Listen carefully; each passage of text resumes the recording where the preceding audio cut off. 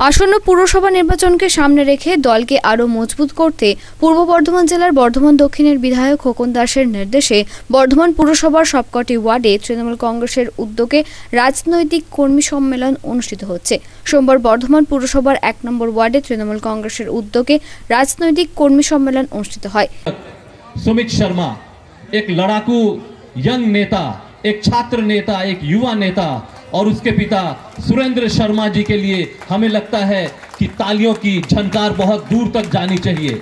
जब सुरेंद्र शर्मा जी ने अपने परिचय को देते हुए अपने बेटे को, अपने लाल को अपने सर पे बैठाया तो मेरे जहन में एक ही बात आई कि बड़े मियाँ तो बड़े मियाँ, छोटे मियाँ सुभान अल्लाह उस छोटे मियाँ के लिए एक बार जोरदार ताली हो जाए। दोस्तों 2021 विधानसभा से पहले मुझे याद है जब हिंदी प्रकोष्ठ की मीटिंग हमारी माननीय मुख्यमंत्री ममता बनर्जी ने कलकत्ते में बुलाई, उस वक्त उन्हें पता था कि लोकसभा के इलेक्शन में 18 सीट बीजेपी को मिली है। यानी अगर कहा जाए तो लगभग आधा। लेकिन उन्होंने हिंदी भाषियों पर भरोसा अपना तोड़ा नहीं था।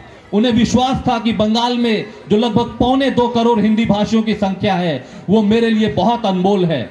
क्योंकि मुख्यमंत्री का कहना है कि दूध में जिस तरह चीनी मिल जाने से चीनी के कारण उस दूध में मिठास आ जाती है और उस दूध से उस मिठास को अलग नहीं किया जाता है उसी तरह इस बंगाल की धरती से बंगालियों और हिंदी भाषियों को कभी भी अलग नहीं किया जा सकता है ये ख्यालात हमारी माननीय मुख्यमंत्री ममता बनर्जी रखती है এই কর্মী সম্মেলনে উপস্থিত ছিলেন বর্ধমান দক্ষিণের বিধায়ক খোকন দাস তৃণমূল সহ সভাপতি অরূপ দাস তৃণমূল হিন্দি ভাষাভাষী সংগঠনের সহ সভাপতি নারুগোপাল ভকত আব্দুল রব শিবশঙ্কর ঘোষ ইফতেকার আহমেদ সহ অন্যান্য দলীয় নেতৃত্ববৃন্দ। হয়েছে, কোনো কিছু পাইনি।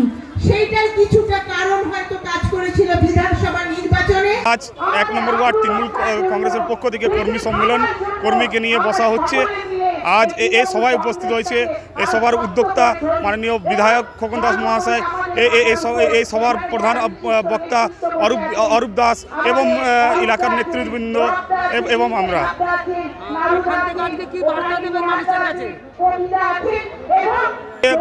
আজকে খোকন দাস এবং অরূপ দাস বার্তা দিলেন কি কীভাবে আমাদেরকে দল দিয়ে চলতে হবে। যে আগামী দিন পৌরসভা নির্বাচন, পৌরসভা নির্বাচনে কে ক্যান্ডিডেট হোক না হোক, কে আমার দেখার দরকার নেই।